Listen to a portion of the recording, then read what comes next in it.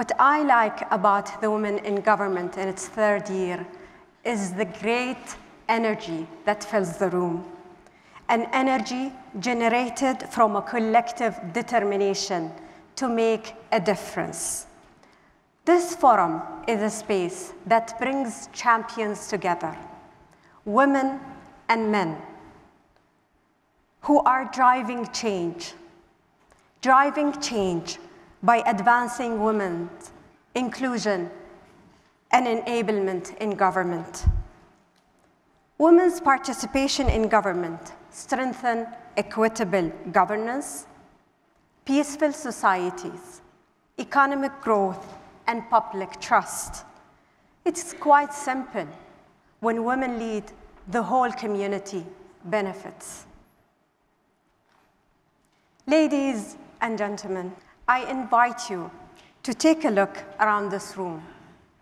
We have a phenomenal group of people who prove over and over again that women are not just ready to lead, but are building, redefining, and shaping the future agenda.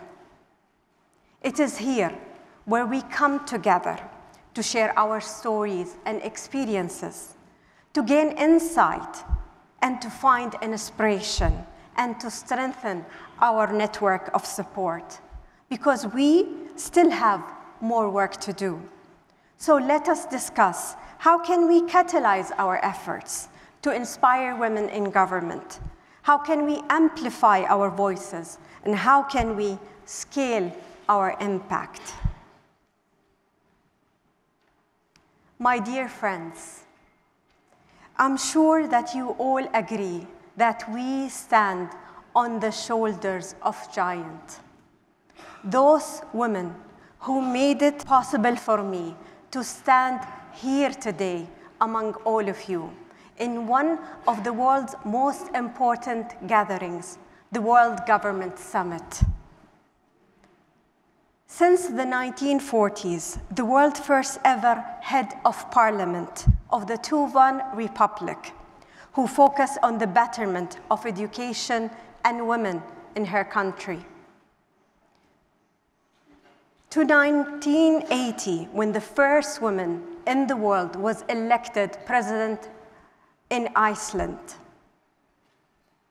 To 2005, when Africa's Iron Lady made history as the first elected woman president and who went to win a Nobel Peace Prize for her work on behalf of women.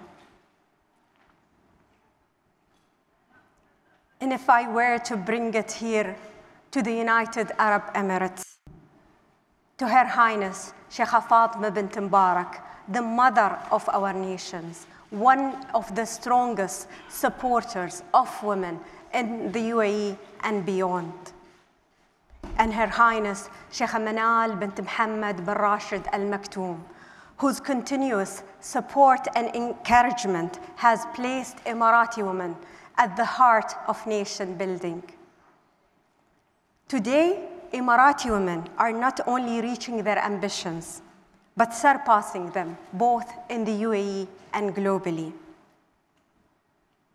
A great example is Razan Al Mubarak, who's with us here today, elected president of the International Union for Conservation of Nature, only the second woman to lead the organization in its 75 year history and we will be hearing from Razan later. And we have with us Her Excellency Jessica Alupo, Vice President of the Republic of Uganda, only the second female to ever hold this position. Welcome. We will also be hearing from two heads of government with remarkable stories. His Excellency Edi Rama, Prime Minister of Albania, who is breaking records as we speak. His government has topped global rankings with a 70% women cabinet.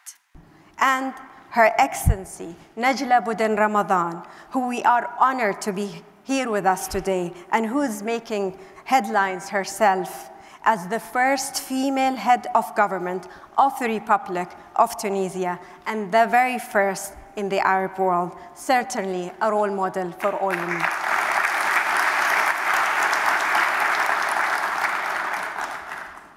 And without further ado, ladies and gentlemen, join me in welcoming Her Excellency Najla Bouden Romdhane to deliver the keynote address of the Women in Government Forum 2023.